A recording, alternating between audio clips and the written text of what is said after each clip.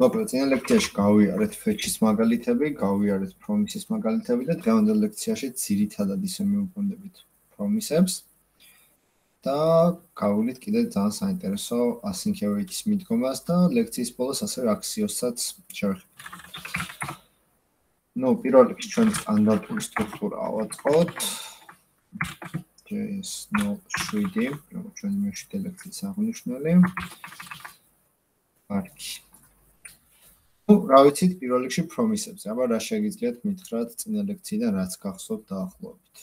promise-ებთან მიმართებაში. ანუ ელემენტია, რომელსაც როდისმე გამოვიყენებთ. რომელიც ოდესმე დაგვიბრუნებს მნიშვნელობას. ოდესმე დაგვიბრუნებს მნიშვნელობას. უბატონო. რა არის პრომისისთვის დამახასიათებელი? და თქვა ზოგადად ასინქრონული ტიპებისთვის რა, მხოლოდ პრომისი რო ახსენე. ანუ სტანდარტული სინქრონულისგან როგორ მუშაობ?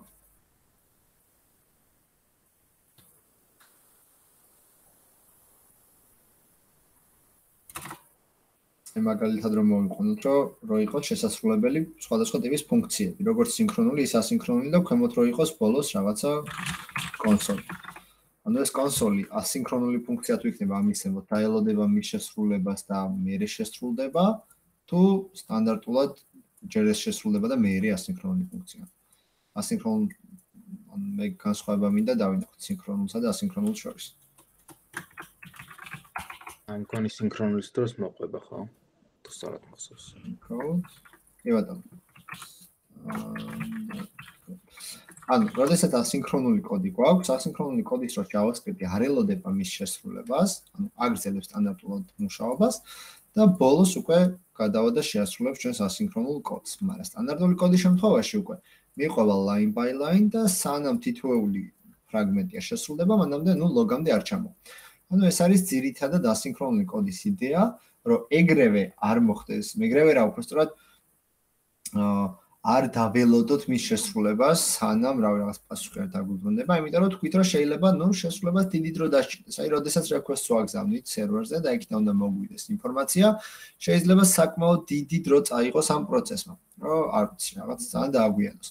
და ასეთ დროს სხვა რა ვარიანტი გქონდა, ხო, რა უნდა ვქნათ? უნდა ვქნათ ისეთი რაღაც, რომ გავაგრძელოთ ჩვენი კოდის მუშაობა, ანუ არ დავალოდოთ ტყუილად და შემდეგ უკვე როცა მოვა ეგ და ანუ სერვერიდან უნდა დაგვიგონება ინფორმაცია, აი მხოლოდ ამის შემდეგ უკვე გავაგრძელოთ მუშაობა.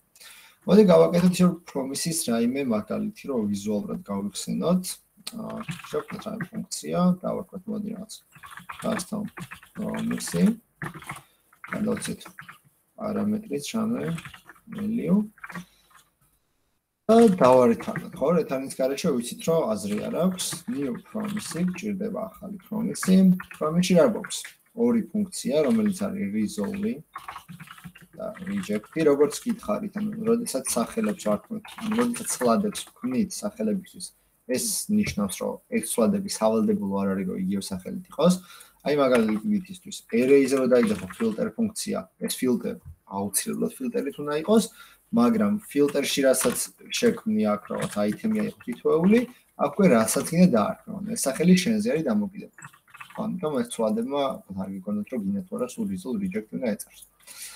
კარგი, ახლა რა ხდება? როგორ მუშაობს? თუ მე დავიძახებ results ეს ნიშნავს promise-ისთვის რომ მოხდა წარმატებული ფუნქცია, ანუ წარმატებით შესრულდა დავალება და ეს არის წარმატებული პასუხი, თუ დავიძახებ reject ეს ნიშნავს რომ promise იყო წარუმატებელი. ну რაღაც მიზეზებიც გამ. აი მაგალითისთვის ისა პრიმიტიული მაგალითი რაც გვაქვს ხოლმე, ავიღოთ რომ თუ value რაღაცაზე ნაკლებია.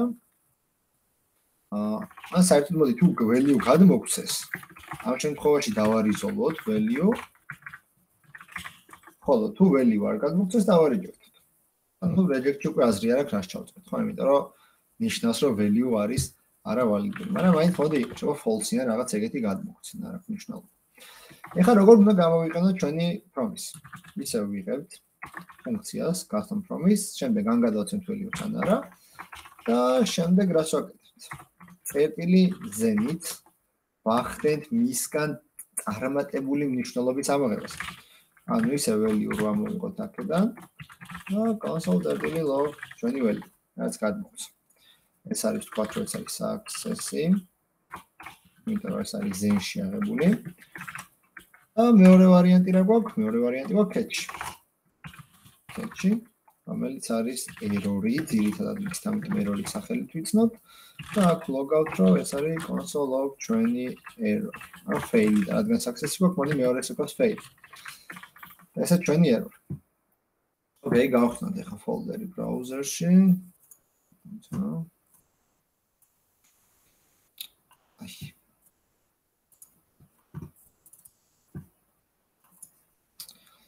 ბატონო, მოდი ცარიელი რო არ იყოს H1-იან რამე გადავიტანოთ აქეთ. კერმენს გვიმახინებს ამიტომ ასე იყოს. Hello world-ი dot. სკრიპტით არ გვაქვს შემოტანილი JavaScript-ი. კი ბატონო. მადლობა. script script ჭირდება source-ი და source ჭირდება objects. nice. გადმოვედით. ახსენით, refresh-ი კი ბატონო, fail-ი და undefined. undefined-ი რატო? იმიტომ რომ რეალურად მას არ გადავეცი ჩვენ არაფერი. რო გადამეცა false-ი, რა იქნებოდა? success to fail.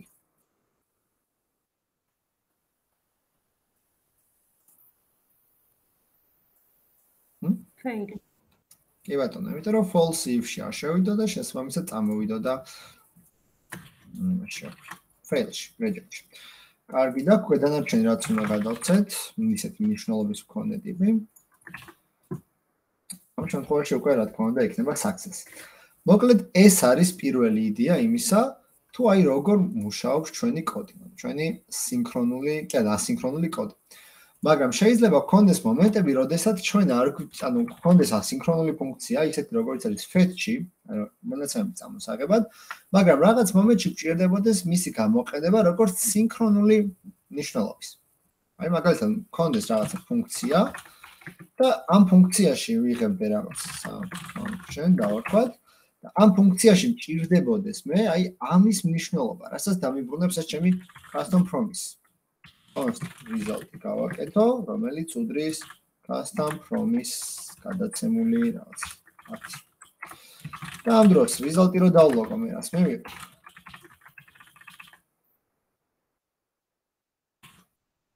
რა გამოვიდა ხო?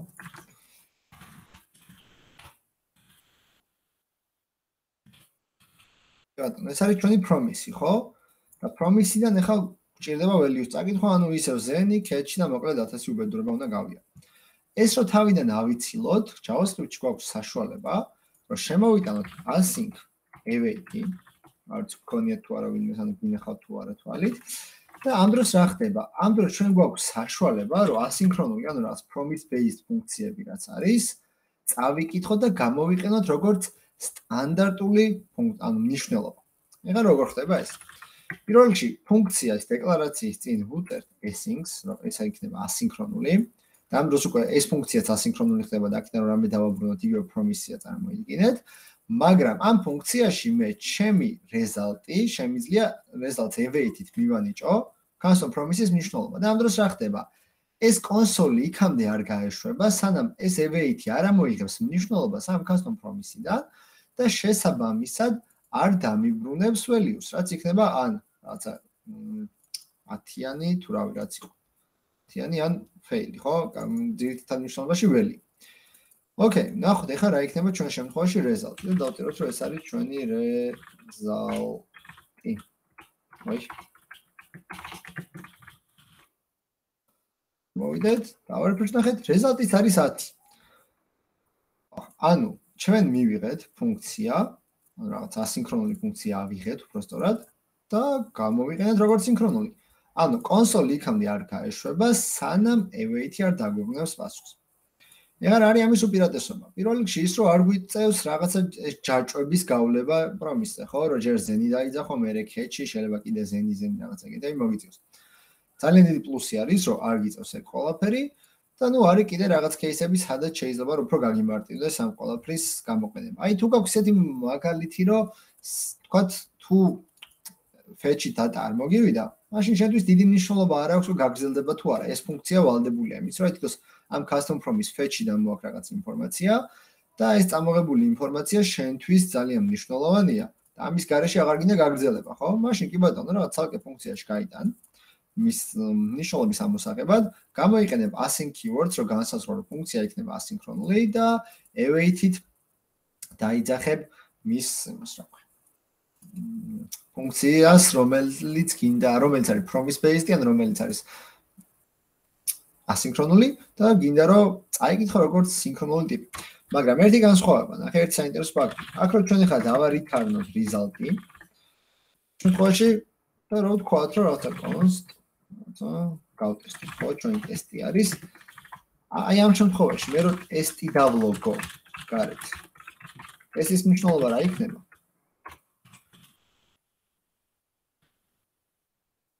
დავეცით, წავიკითხეთ აქ მნიშვნელობა, ნახეთ რომ დაილოგა 10-იანი ჩვეულებრივად და დავარითარნეთ.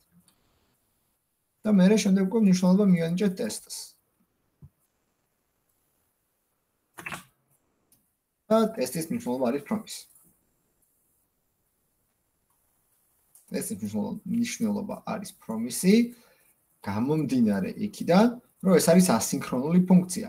ანუ თუ გვინდა ჩვენ რომ რაღაც აქედან ისო მნიშვნელობა წავიკითხოთ, კი ბატონო, ჯარჭობი, მაგრამ ფუნქციის შეგნით შეგვიძლია ჩვენი ცვლადი გამოვიყენოთ საკმაოდ პროდუქტიულად.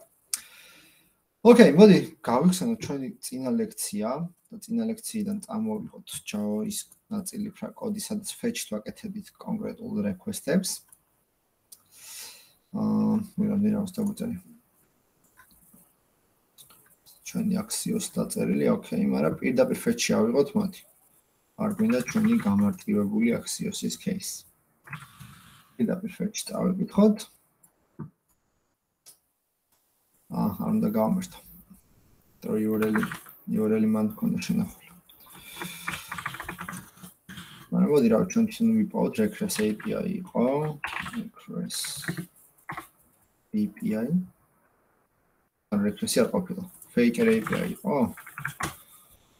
ეს საკე დავალებებში მოგეცით მან მან მოგწ. ნუ ოკეი, ისე წიგნები აქვს. ჩავწოთ URL-ში. რა თქმა უნდა, მომნიშნოთ string-არ. და ახლა გვცადოთ ასეთი რაღაც, რომ ეს გავიტანოთ ისევ ცალკე ფუნქციაში, ჩვენ. ან მოდი საერთოდ ახლა ნუ ცალკე ფუნქციაში გატანა უკვე გაკეთებული გვაქვს ასე ტესტი, მაგრამ მოდი რა გავა რა ვცადოთ, იცი? აი აქ მე ახლა სამ function-ში, ანუ ამ ფუნქციაში, რო დავიძახე result-ზე await, ხო? await ხო დავიძახე რეალურად ამ custom promise ფუნქციაზე, რომელიც იყო ასინქრონული. და ვიცი რომ fetch-იც არის ასინქრონული ფუნქცია. ანუ fetch-ი რო დავიძახო მე აი ამ ზენების garaში. და ბოლოს ჩავაგდებ რომ და კომენტარო. და პირდაპირ ეს რო დავიძახო. ამ რო თქვენი აზრით აი result-ი რო დავუგო, რა იქნება result-ის მნიშვნელობა?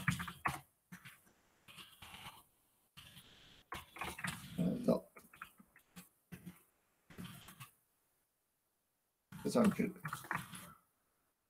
ანუ გვაქვს ჩვენი ფუნქცია, რომელიც არის ასინქრონული, ვიყენებთ async await keyword-ებს. და ამ დროს რა ხდება, რომ როდესაც results ვანიჭებ await-ით ნიშნულობას, თქვით, რომ ელოდება ეს await-ი იმ ფუნქციის შესრულებას და სანამ ნიშნულობას არ დაგვიბრუნებს, სანამდე არ გააგრძელებს. ანუ იდეურად, სანამ ეს fetch-ი არ მოგვიტანს ჩვენ დატას, მანამდე console log-ი არ უნდა გაეშვას, ხო? იმიტომ რომ სხვა შემთხვევაში რა იქნებოდა, რომ დაილოგებოდა. აა ცარიელი მნიშვნელობა, იმიტომ რომ რაღაც არ დაველოდებოდით asynchronous ფუნქციას და მოკლედ დაინახოთ, ძალიან საინტერესო. დავარეფრეშეთ და ნახე. ზუსტად მაშინ დაილოგა ჩვენი log-ი, როდესაც წავიკითხეთ მისი მნიშვნელობა. ანუ წავი ანუ ანუ ზუსტად მაშინ დაილოგა, როდესაც წავიკითხეთ და წაკითხვა მოხდა მაშინ, როდესაც ამან დაგვიბრუნა ჩვენი data. კაი, აბა რაღაც ასეთი ვქნათ მაშინ მოდი, აბა JSON-ი ფუნქცია რო დავიწყოთ. ამ JSON ფუნქციით რას ვაკეთებთ, გახსოვთ?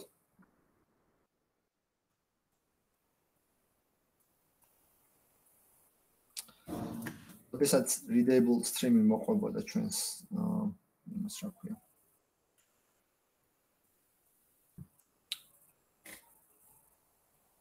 გავიფრიზე. readable stream-ი როდესაც მოყვებოდა ჩვენს fetch, ანუ იქიდან ვაკეთებდით ინფორმაციის ამოღებას, ხო? იცი გავხსნათ ის კოდიც. რამე შეგეთ მითხარით, იმიტომ რომ საკმაოდ მნიშვნელოვანი ისინი რა ნაწილები. კარგი. ოკეი, მაგრამ ამ შემთხვევაში რეზალტზე რა დაგვილოგა, ოღონდ ვერ იმასთან რა ვერ დავინახე. promise. ოკეი. და თუ ისე პრომისია არ უნდა დავა ევენტოთ. ოკეი. კარგი. რა გავაკეთეთ ახლა? ანუ შუმად რო ხართ და რაღაც გონია რომ ან ძალიან ვერ იგებთ რაღაცებს, ან პირიქ ყველაფერი გასაგებია და მითხარით რომელია?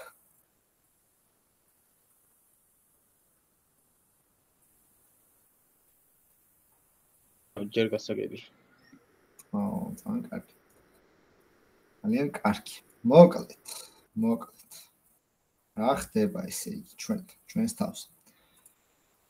გვაქვს fetch-ი, რომელიც გვიბრუნებს ნიშნულობას, ხო? რომელიც არის ჩვენი რა ქვია ეს?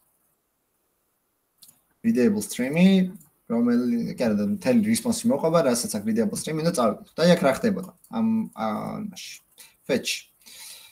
ასე დაუბრუნო. ნუ fetch-ი რა ხდებოდა? ნახეთ, კითხულობდით. ნიშნულობას, რომელიც იყო ჩვენი რაც response.json-ი, ხო?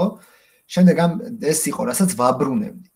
შემდეგ აი ამ დაბრუნებულ ნიშნულობაზე ვიძახებთ ისევ ზენს, იმიტომ რომ არის promise-ი და შემდეგ უკვე ვიღებდით რეალურად დატას. და ჩვენ რო ახლა ეგ არ დაგვჭირდეს ყოველ ჯერზე რო თავიდან ზენები არ ვიძახოთ, შეგვიძლია რომ ალტერნატივად გამოიყენოთ await, იმიტომ რომ მოვიდა promise-ი, კი ბატონო, await-ი შემიძლია დაველოდო და როდესაც ნიშნულობა მექნება, მხოლოდ ამის შემდეგ გამოვიყენო. კი ბატონო, ავიღე აქედან მნიშვნელობა, შემდეგ წავიკითხე მის readable stream-ი, მოვიდა ისე promise-ი, რატო რატო დავა ზენო ასე ვთქვა და ჯაჭვები, აი ჯაჭვებს ვეძახით, აი ამ ნაწილს. ნახე, ზენი, ზენი, catch. რატო გავაკეთოთ იგივე, როცა შემიძლია რომ თავდგე და await-ით დავაბრუნო at final result-ი, ხო, რომელიც იქნება დამუშავებული ყველანაირად. შესაბამისად, შემიძლია რომ აქედან ისევ გამოვიყენო რაღაც ჩემი მნიშვნელობა. რეზალტი რო წავიკითხე, რეალურად ეხა ეს რეზალტი ქონა წინა მაგალითად, თორე ეს არის fetch-ისგან დაბრუნებული პირობა, რავი, რაც არის response-ი. და თუ მინდა რომ ახლა ამ response-იდან წავიკითხო ჩვენი რეზალტი, რეზალტი უდრის const რეზალტი უდრის ამ response-ის დაჯეისონებულ ვარიანტს, ხო? იმიტომ რომ ეს არის promise-ი და აქედან რო აღარ მოგვიწიოს ჩვენი ზემის გამოყენება, ვიყენებთ ევიც. აი ამ შემთხვევაში უკვე რეზალტი რაც გვაქვს რეზალტი დაილოგება ჩვენი რეზალტი. კი ბატონო, რომელიც არის რაღაც კოდით, data-ც მოყვება, თავის ნუ array რა თქმა უნდა, სტატუსი ტოტალი და მთელის data რაც response-მა მოგვაყვა. ოკეი. თუ გასაგებია ძალიან კარგი, მაგრამ ერთი ფაქტორი არ გვიხსენებია ჯერ. და რა არის ახლა ეს ფაქტორი? ნახეთ. ჩვენ როდესაც ვიყენებდით fetch-ს, ამ შემთხვევაში ქონდა როგორც send-ი, ასევე ქონდა catch-ი, ერორების შემთხვევაში. და მოდი ვნახოთ როგორი რაღაც იცი რომ რა მოხდება მაშინ თუ მაგალითად დაერორდება. ანუ ეხა ბუქსარა და ის დავაერო 420-ზე გავუშვით აი თქვენი აზრით რა მოხდება? რეზალტში რა დაილოგება? ერორის დროს.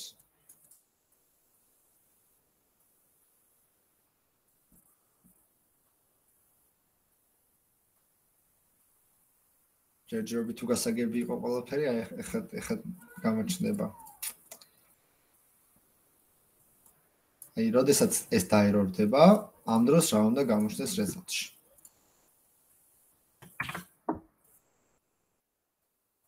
ევათ.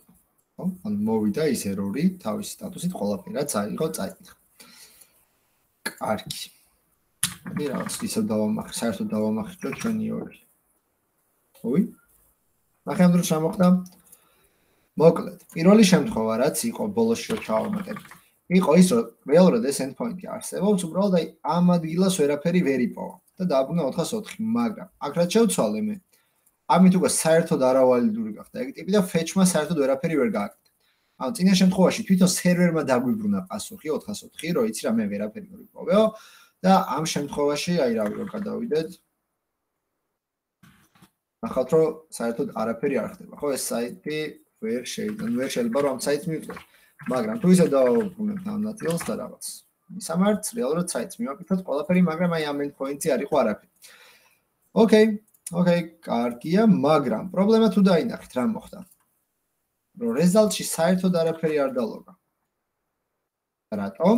იმიტომ რომ სტანდარტულად ვიცით, რომ თუ სინქრონული ფუნქცია მუშაობს, ანუ ამ ფუნქცია რა, ნებისმიერი კოდის ფრაგმენტი, და აი მაგალითად აქ რო რაღაცა error-ი გავარდეს, აი ამ კონკრეტულ ადგილას. error. მაშინ ამის ქვემოთ აღარაფერი აღარ შესრულდება. და ჩვენ აი ასეთ პრობლემებს try-catch-ში თუ handle-ავდით, როდესაც ვაკეთებდით chains, ანუ ამ ჯაჭვებს ჩვენს promise-ზე. მაგრამ async await-ზე რა უნდა ვქნათ? async await-ზე ჯაჭვები არ აქვს, ანუ catch-ს ვერ გამოვიყენებთ. აი ამ დროს რა შეიძლება რომ გავაკეთოთ?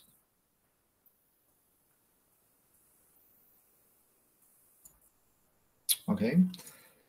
ბუნებრივი არ გვისწავლია ჯერ და მაგიტომაც არ არის ეგ მომენტი კრიტიკული და ამ დროს შემოდის საქმეში კიდე ახალი ტიპი, რომელიც არის try catch. აა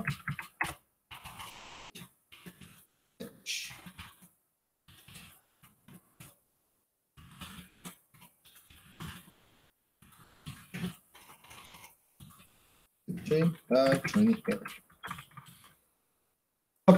Try catch-ის მუშაობის პრინციპი არის ძალიან ძალიან მარტივი. პირველი, სცადე აქ ტანში რაც წერია ამის შესრულება, თუ ყველაფერს შეასრულებ, კი ბატონო, catch-ი აღარ გაინტერესებს, მაგრამ აქ სადმე, რომელიმე ხაზზე თუ error-ი ამოვარდება, ეგრევე, აი თუ პირველივე ხაზზე ამოვარდა error-ი, ეგრევე დაიკიდე ქვემოთ რაც წერია და გადახდე catch-ი და ის კონკრეტული error-ი, რომელიც აქ გავარდება, წაიღე catch-ი და დამიწერე და თუ ყველაფერი თუ აქ დახო და ქვემოთ აღარ გააგრძელო კითხვა, მაგრამ თუ აქ დაერორდა რა თუ აქ დაერორდა რა ხო მაშინ აქ გადადიქეჩ თუ ბოლო ხაზე დაერორდა მაინც გადადიქეჩ. ამის იდეა რა რომ მე როდესაც აი ეს კონსოლოგი მაქვს გაშვებული როდესაც catch-it handle errors ანუ catch როდესაც try catch ვიყენე და catch რაღაც შემოდის ეს არ იწევს ჩემი კოდის ფლიანად გაჩერებას. იმიტომ რომ წინა შემთხვევაში ნახეთ რომ არაფერი არ დაგვილობა ხო? სად იყო? აი ეს ლოგი არ გაეშვა. ну ეს ლოგი გაეშვა გამომდინარე იქიდან რომ ასინქრონული ფუნქცია არის ეს და ნუ უნებრივი ასინქრონული რაც მე წავიდა. ამიტომ მოდი აი აქ დავლოგოთ რომ დავინახოთ კონკრეტული მაგალითი. ეს ლოგ. აი. ხარებს ეს ლაილოგო შევთხოვი იქნება ხო? რეალურად ამ ფუნქციას პროდუბრალ მინიტების შეხვდებით და მოდი უბრალოდ დავიცახოთ თან. გავუშვით და ნახეთ fail to fetch-ი, წამოვიდა ჩვენთან catch-ი და შემდეგ ეს დაგვილოგა ჩვეულებრივად. მაგრამ ჩვენ რო try catch-ი არ გაგვეკეთებინა და პირდაპირ გქონოდა ეს კოდი როგორც თავია. ამ შემთხვევაში თქვით, რომ აღარ უნდა დაელოგა ჩვენი test log-ი, ხო? კი ბატონო, არ დაგვილოგა, იმიტომ რომ აქ მოხდა error-ი და ამის ქვემოთ აღარ არც result-ი ბუნებრივია და არც test log-ი აღარ გააგრძელდა. ნუ თუ ყველაფერს უკან დავაბრუნებ, ამ შემთხვევაში დავინახოთ, რომ ერთის დაგვილოგა და test log-ის გამოჩნდა. ისევ დავაბრუნოთ ჩვენი error-ი უკან, ისევ დავაბრუნოთ ჩვენი catch-ი უკან. და ნახოთ, რომ ამ შემთხვევაში თუ დაერორდება, კი ბატონო, მაგრამ ჩვენი კოდი არ გაჩერდება და გააგრძელოს მუშაობას აი ამ error-ის გავარდის შემდეგაც. Okay, catch-ი ვინმესთვის გაუგებარი ხო არ არის?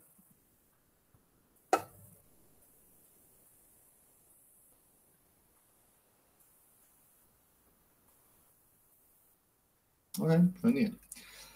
ხო, როგორც უკვე თქვი, იდეა არის საკმაოდ მარტივი, რომ თუ სცადე ამის გაკეთება, თუ არ გამოგივა, კი ბატონო, გამოუშავ.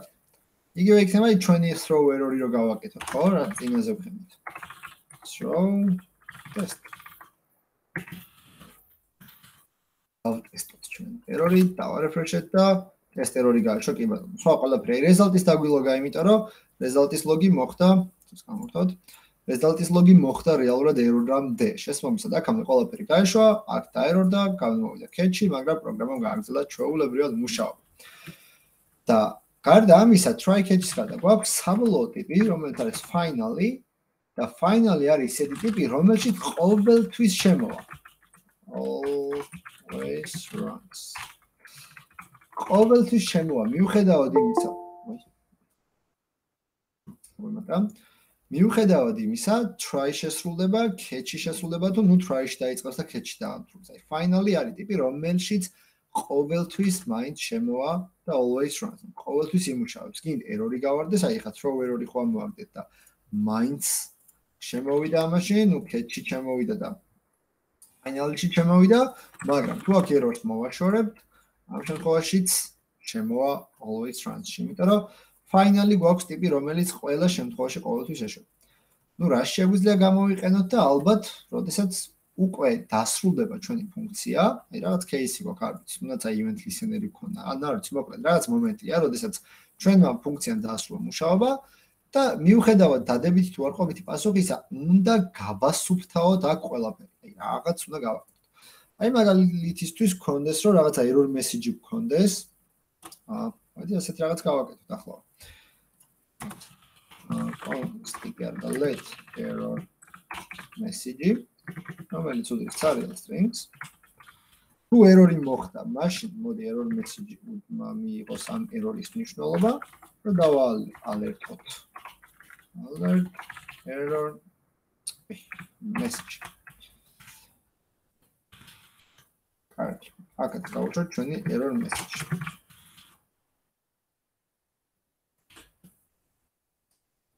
აა, არ დაეროდა ხო?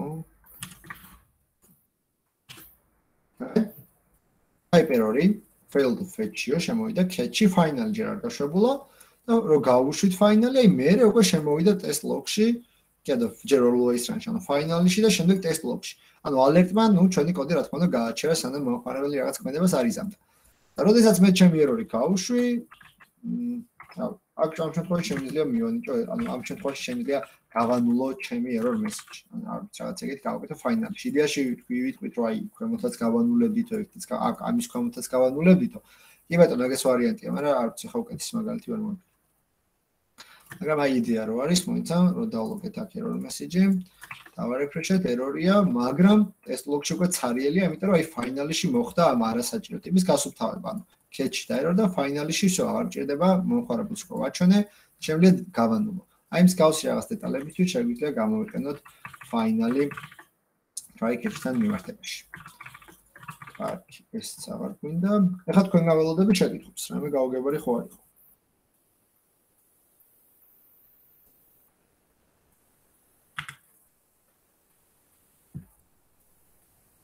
ოკეი, ფანი. შვენიერი და თუ ასეა მაშინ გადავიდეთ using chat-ზე აღონ ორი წამით კლავიატურა უნდა შევარდო დასათანად თორე იჯდება და მუშნი ო მე წინა შაბათს არ ვიყავი და შეიძლება მე გავალ მაშინ და წინა ლექციას შევხედავ და მე ამას შევხედავ. აა იდეაში მინდოდა რომ მეორე საათი ვიყავი წინა ლექცია არ გინახავს მაშინ ის იქნება არა არა მოდი რა რომ მე თუ გინდა ეხა გადი მაგრამ ნახევარზე დაახლოებით ჩემოდი ისე ხო იმიტომ რომ რაღაც საინტერესო უნდა გავაკეთო და მინდა ვთქვა არა თუ გინდა მოისმინე და იცი ხო მაგრამ როგორც გიჩვენ კარგი ვაიოთ რა გაცოცხლება ცოტა ხანში და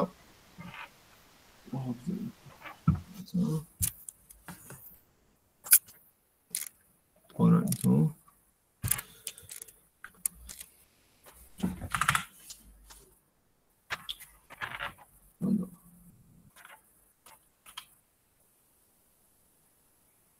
음. 그렇죠. Entonces colocamos tres medios dentro y tenemos.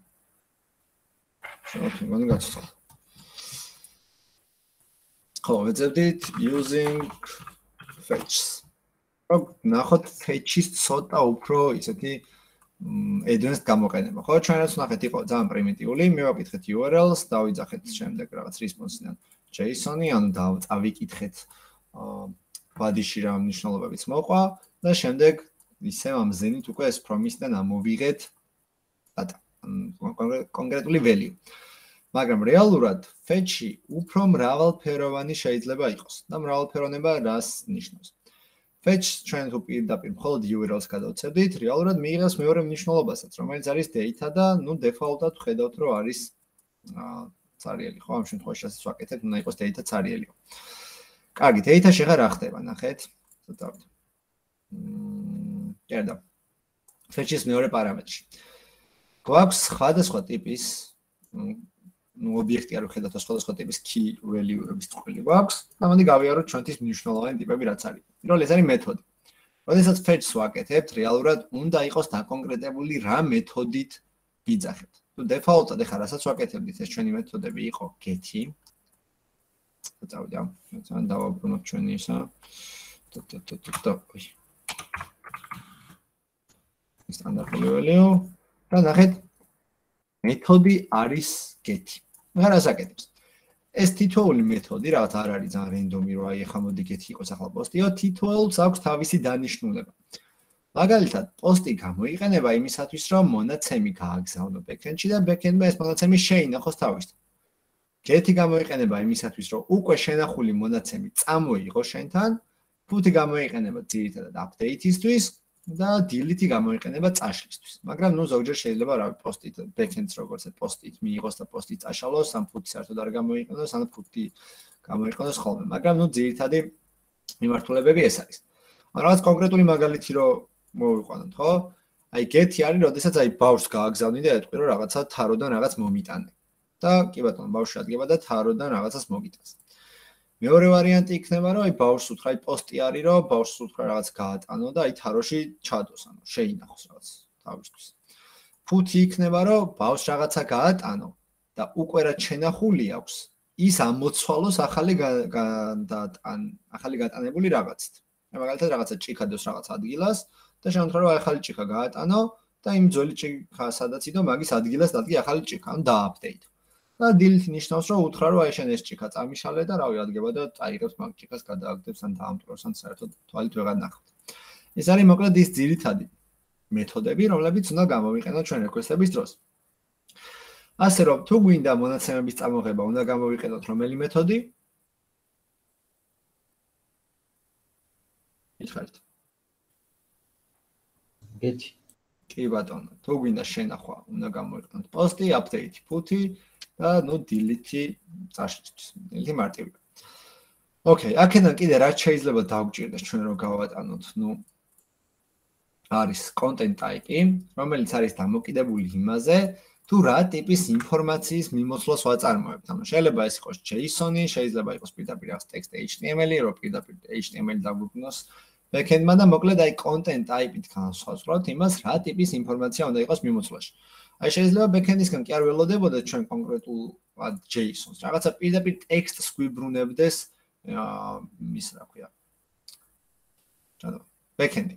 შესაბამისად, ნუ content type-ში მივუთითებთ იმას, რაც გვჭირდება და body. body არის ის დამატებითი მნიშვნელობა, რაც განსაზღვრავს request-ისში ან ჩვენგან გატანებულ ინფორმაციას.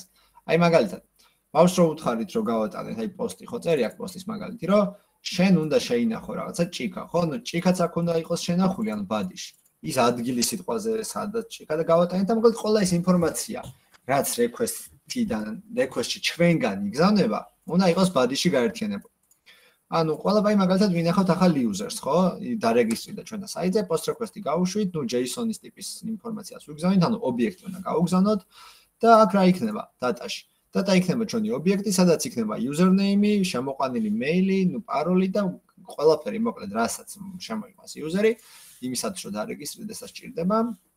ა ტელეფონის ნომერი ისა, ესა ყველაფერი უნდა გაიგზავნოს body-ით. ანუ body არის ის ტიპი, რომლითაც ჩვენ შეგვიძლია რომ გავაგზავნოთ რაღაც ინფორმაცია. ეს არის post-ის დროს.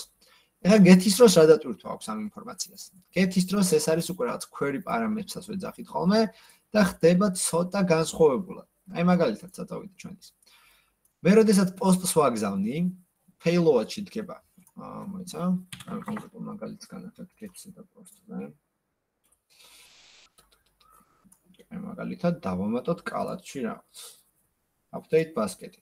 მაგენ წავიდა post request-ი კონკრეტულ მისამართზე და payload-ში ნახეთ გამოჩნდა როგორი რაღაც. query პარამეტრები რაც გავატანეთ, რაღაც უნიკალური ID, რაღაც იდენტიფიცირებისთვის, ამას ჩვენ დიდი მნიშვნელობა არ აქვს და payload-ი რაც გაყვა. ძირითადი ტიპები რაღაცა ეს მთლიანი დიდი ობიექტი, ID, რაოდენობა ანუ რამდენი შევინახეთ და პროდუქტის ID რეალურად იმისათვის რომ რაღაც ეს არის identifier-ი, იმის თუ რომ კონკრეტულად რომელი პროდუქტი დავამატე.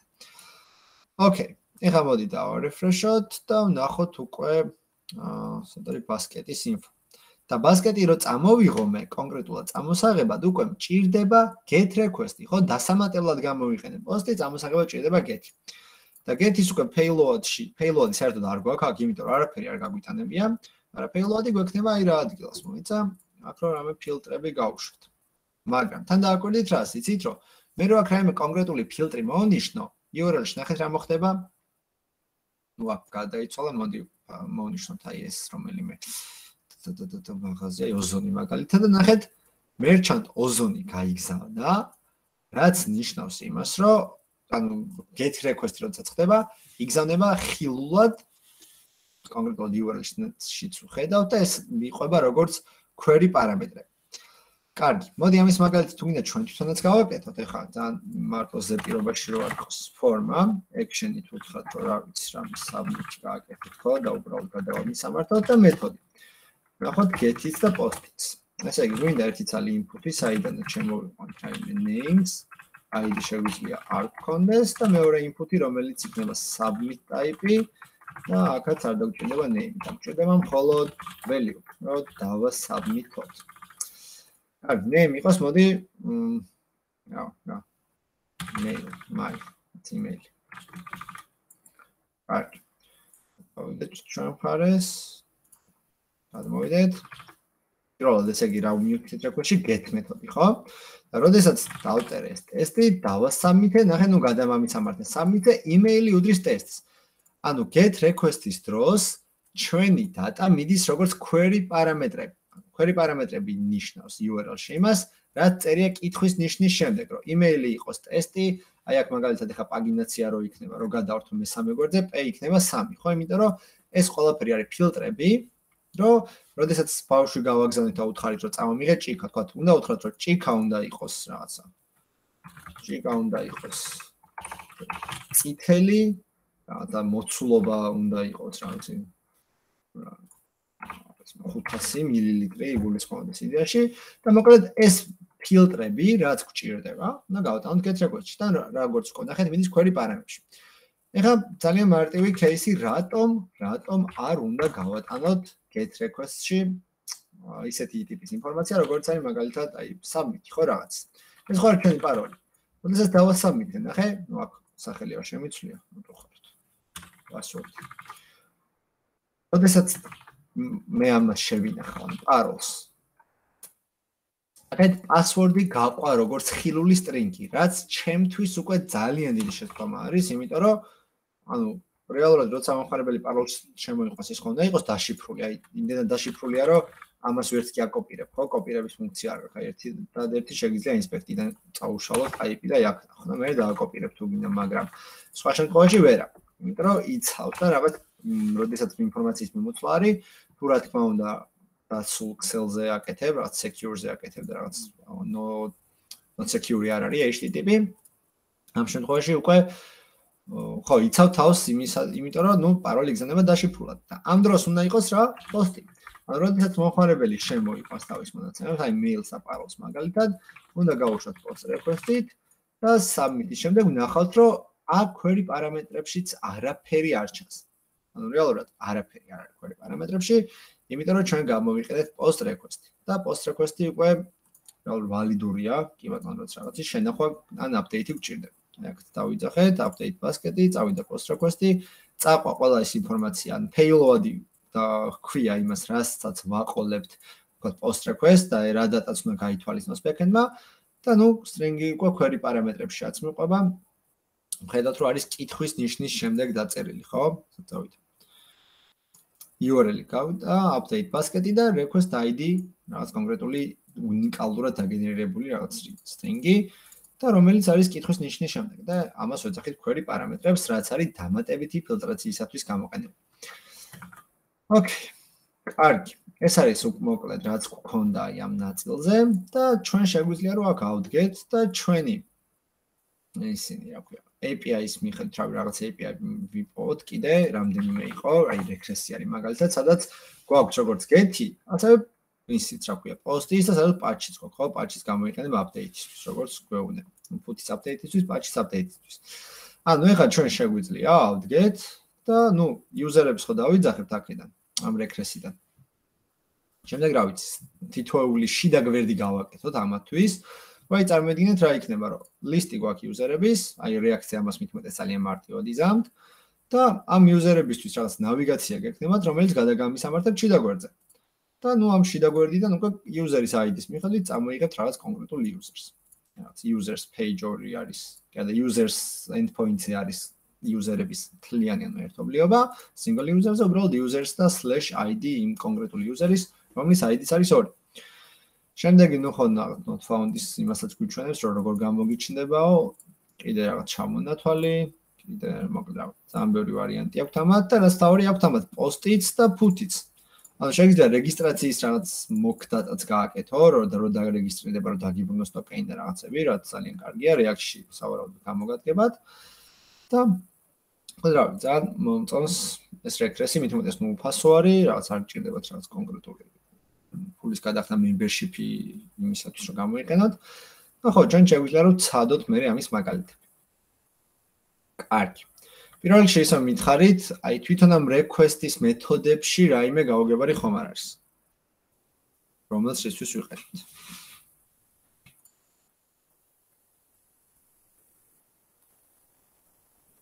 არა. ძალიან კარგი. მაშინ მანდ ვცადოთ ასეთი რაღაც, რომ აი ამას ახლა გავატანოთ ჩვენ მეთოდი post. აი ამ დროს გამოხდება net. აა საინტერესოა, ხო? იმიტომ რომ ეს არის რეალურად get request-ის მისამართი და ჩვენ მითხოთ post-ის გაგზავნას. ნახოთ, ნახოთ, ნუ კან დავბრუნდეთ და უი, ნახე 405. ახე მეთოდი არ არის დაშვებულიო, რა ბას ხვი დაგვიბრუნდა, ნახეთ, რომ მეთოდი საერთოდ არ გვაქვს დაშვებული, შესაბამისად ნიშნავს, რომ ამ endpoint-ზე, ანუ ამ მისამართზე, სადაც მივაკითხეთ, post მეთოდი არ არის დაშვებული. რა ვიცი, ნახოთ კიდე თავი 405 status code. მოგონება კი ბატონო, მეთოდი არ არის დაშვებულიო. ნახეთ და კარგი აღწერა აქვს, რომ ესე იგი response-ი შეიცავს ესეთ თემას, რომ შესაძ request-ი ნაცნობიაო, რეალურად, ანუ კი ბატონო, მოაკითხე და რაღაც შენებურად დაამუშავე, მაგრამ აი დასუპორტებული არ არის ის კონკრეტული რამის ნდა ჩვენ ვიყენებთ. ანუ თუ გვინდა რომ data შევინახოთ, გეტყვის რომ იცი რა endpoint-ზე შეიძლება ქმედების განხორციელება, მაგრამ შენახვა არ შედის ამ ყველაფერში. ხო, ანუ წამოღება კი ბატონო, ჩვენ ვიცით რაღაც გეთია და წამოღება კი ბატონო, მაგრამ შენახვა არ არის დაშვებული. კარგი, მაგრამ როდ გეთ დავიღოთ, ალბათ გავუშვათ აქ გეთი.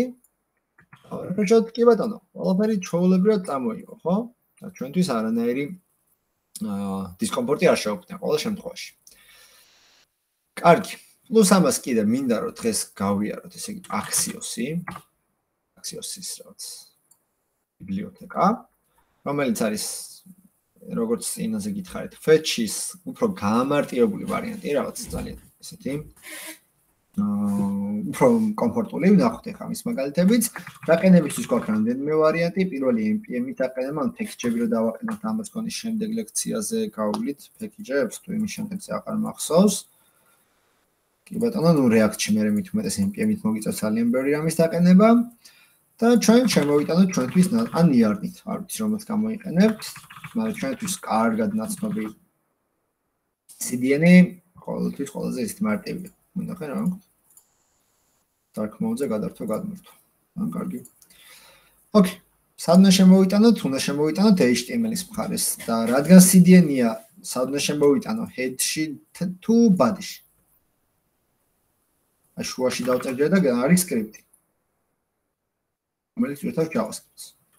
სად შემოვიტანო head-ში თუ body-ში? body-ში ბოლოს. კი ბატონო. როგორც სულ ბოლოს არა, იმიტომ რომ რეალურად მე მინდა რომ ამის ქვემოთ ფაილში შევძლო ამის გამოყენება. შესაბამისად ჯერ უნდა ჩავტვირთო აქსიოსი და შემდეგ უნდა გამოვიყენო ჩემთან აპში. კარგი, ну, შემდეგ უკვე ნახოთ მინიმალაო. light mode უკეთ ესე ვთქვა. შეგვიძლია რომ ნახოთ წინასწარი გამოყენების ვარიანტები და გვეუბნება ესე იგი როგორ უნდა გამოიყენო. რაღაცა bla bla bla, თუ მინდა რომ გამოიყენო, უნდა გამოიყენო require რაღაც აქსიოსი წამოიღო შენთან, აი მაგალითი თუ გინდაო, რაღაც შემოგაქვს აქსიოსი, აკეთებ პირდაპირ და იძახებ კონკრეტულ ID-ზე, შემდეგ იძახებ Zen-ს, შემდეგ იძახებ Catch-ს. ну ისე Zen-ი თუ გაქვს, ნახე catch-ის მე ზენს რასაც ეძახი ჩვენთან try catch-ი რაც იყო ფაინალი ეგ ვარიანტი არის აი მაქსიოსთან მესამე ზენ ну აქ კიდე რა ვარიანტები აქვს ხო პარამეტრიც გაატანა პარამეტრები აა კიდევ ისევ ზენი catch-ი ზენი ну user ხო ძალიან მარტივი მაგალითი. აი მოდი დავაკოპიროთ ჩვენი პირველი მაგალითი მაშინ თუ არა. აა აქ ჩავსვათ ბოლოში და ეს თანაჩენი გადავიტანოთ old ნაწილში. old settings აი ну აპში გავუშვით ჩვენი axios-ი user-ი არა და მოდი აქაც გავუშვათ ჩვენი quantity. ჩვენი faker API faker API რაც გვაქვს უბრალოდ იმ განსხვავებით რომ ну ჯერმოდი quantity-ც ასე იყოს და მე პარამეტრებში გავამარტივოთ და ნახოთ რეალურად აი რა მოგვივა ახლა აქ. საერთოდ თუ იმუშავებს ჩვენი axios დავა refresh-ოთ. require is not defined. აა ანუ პირდაპირ ძველი ძველი მოსკოვნება ანუ საერთოდ არ გჭირდება შემოტანა პირდაპირ შეგვიძლია რომ დავინახოთ axios და ყოლა ოკეი ნახეთ. რა მივიღეთ axios-ში რომ პირველი response რო დაგვიბრუნა საერთოდ ჩვენი პირველი response-ი და რა რეალურად log-ში დავინახეთ response-ი. ოკეი, ეს არის error-ი, დავწეროთ ყველასთან error. და ეს არის რომელიც ჯერ არ გჭირდება, რომელიც ყოველთვის გაიშვება, მაგრამ არ გჭირდება. გვაქვს მხოლოდ ზენი და catch. რა რა ხდება? ეს პოსმა კლიანი data წამოგვიღო, ნახეთ, აი თავისი request-ის დატით, header-ებით, data, config, მოკლედ ყველაფერი იმაზე მეტი ინფორმაცია მაქვს რეალურად, ვიდრე ჩვენ fetch-ით ვიღებდით, ხო, იმიტომ რომ fetch-ი ჩვენ პირდაპირ აი ამ data-ს პარსავდით და მოქონდა მხოლოდ აი ეს data-ს ტიპი. და უკვე data-ს გვაქვს, header-ებით, request-ებით, სამყარო axios-ი ალგა და ჩვენთვის დაამუშავა ყველაფერი, თან ისე დაამუშავა, რომ პირველივე response-ი რაც დაგვიბრუნდა, იყო უკვე სტანდარტული ობიექტი და არ იყო promise-ი, როგორც წინა შემთხვევაში მე JSON-ს რო ვიძახებდით. რადგან სტანდარტული პრომისი იყო პირდაპირ შეუძლებელთ მისი გამოყენება. რაც ბევრად უფრო მარტივი არის და ვიდრე ჩვენი ის რა ქვია. აა fetch. კარგი, მოდი ახლა ნახოთ მეორე მაგალითი რაც იყო აქ აღწერაში, რომ ნახე პარამეტრები გადასცა პირდაპირ. ჰმ. და საინტერესოა რა პარამეტრები შეიძლება გადავცეთ access. აა, comes აი მაგალითად quantity რო გადავცეთ. quantity 1 და აქ მოვაშოროთ.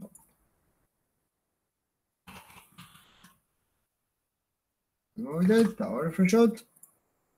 მოვიტანა რამდენი 1 data და ნახოთ, ნუ ისევ ასე არის გაშვებული. ჰმ. აა ნახეთ ძალიან საინტერესო რაღაც აღმოაჩინეთ ახლა ჩვენ რო თუ ვიყენებთ მაგალითად axios პარამეტრებში გადა, ნუ axios-ი არა, request როდესაც ვიყენებთ, არ არის აუცილებელი რომ კითხვის ნიშნით მივაწეროთ ეს ჩვენი URL-ები. აქ მე რომ ვთხრა მას, აი პე, აი უდრის ორს თქო მაგალითად, ანუ რომ გავატანო პარამეტრებში რა სიზამს. ადგება, ამას მიანიჭებ ჯერ quantities, quantities. შემდეგ რაღაც უდრის ერთსო, შემდეგ ადგება და ეტყვის რომ აი პე უდრის ორსო. რაღაც ასეთ URL-ს თავისი დაგვიგენერირებს. ავიდა. და რო დავარებიშე ნაკივატანო. quantity და p2. და ნუ რეზალტი ისე ვიგივი არის რაც გქონდა. quantity რო გადავცეთ აქ მაგალითად 10 ой ტიპალი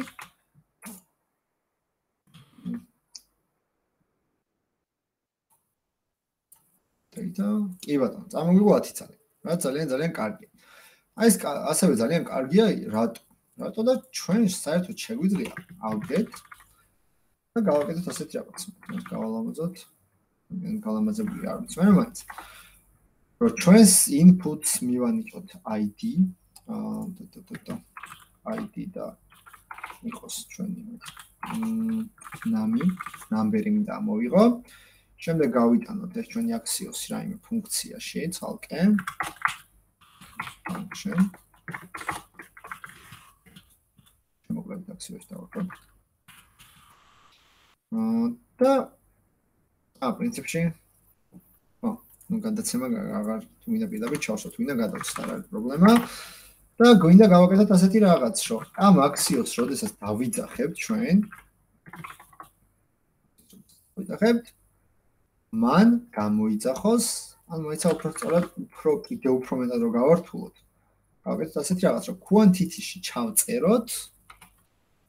document წერტილი query selector წერტილი და წერტილი არ გვინდა id ვიღოთ ესე იგი namis წერტილი value. Okay. ანუ quantity-ში მე მინდა დავიძახო ის მნიშვნელობა რა მნიშვნელობასაც მოხარებელი ჩატეს ნამში. ავდგები აქ მე ერთ სატესტო ბატონს გავაკეთებ რომელიც იქნება რაღაც და ნუ კონკრეტულად მე მივაჭროთ. კონკრეტულად მივაჭროთ ჩვენი ფუნქცია, ხო, აქციას რაც დავაკეთე. ანუ როდესაც ამ ფუნქციას დავიძახე, მინდა რომ გაიშვას ეს რეკვესტი და წამოიღოს იმ რაოდენობის პროდუქტი, რა რაოდენობაც მე მექნება შემოყვანა. დავარეფრეშე, კი ბატონო, არაფერი არ აქვს, ჩავწერე მაგალითად ერთი ცალი get data და ნახეთ quantity გაიშვა 1-ზე. ჩავწერო 12, quantity გაიშვა 12-ზე. ძალიან მაგარია, მაგრამ გავითვალოთ და 12, როდესაც get data იქნება ცარიელი. და quantity ამ შემთხვევაში გვექნება ცარიელი, ხო? და ამის დასახენებლად შეგვიძლია გამოიყენოთ ძალიან მარტივი ჩანაწერი. ან ვარიანტი. ეს როგორ მუშაობს? თუ პირველი პირობა, ანუ ამ ანის მარცხნივ რაც იქნება, დაგუბრუნებს true-ს, ანუ true-ში გულისხმობ, რომ ამისი value იქნება ვალიდური, მაშინ ამას დატოვებს და ანის მხარეს აღარ გადავა, მაგრამ მაგ თუ ისეთი ცარიელი ტიპი შემოვა ნალი false რაღაც ნებისმიერი ვარყოფითი value, მაშინ ადგება და დაგვიტოვებს ერთიანს. და ეს არის ჩვენი თქვა default handler-ი იმისა, რომ ტიპმა ცარიელი არ გაუშვას არაფერი, ხო? რაღაც თუ ცარიელი არის, მაშინ გაუშვებს. აა ერთიანს, ხოლო თუ შემოიყვას მნიშვნელობას, მაშინ გაუშვებ შემოყვანილ მნიშვნელობას. აქ კიდე დამატებითი handling-ი არის, რომ აი ნახე, ტექსტი რო შემოიყვანო, ტექსტი არ უნდა გავყვაშობინოს, ხო? აქ რა შეგვიძლია ვნახოთ number variant უნდა გავუშვებ, აბა, მაშინ იქნება? අපි JavaScript-ის number-ი რო დავიხოთ. ამ დროს შეუგნებით, რომ აი აქ რასაც წაიკითხავ, წაიკითხავ როგორც number-ი. როდესაც number-ად რო წაიკითხავს, მაშინ რა მოხდება ძალიან საინტერესოა, ხო? როდესაც number-ად რო წაიკითხავს, თუმცა აქთან კი ლოგაუთ.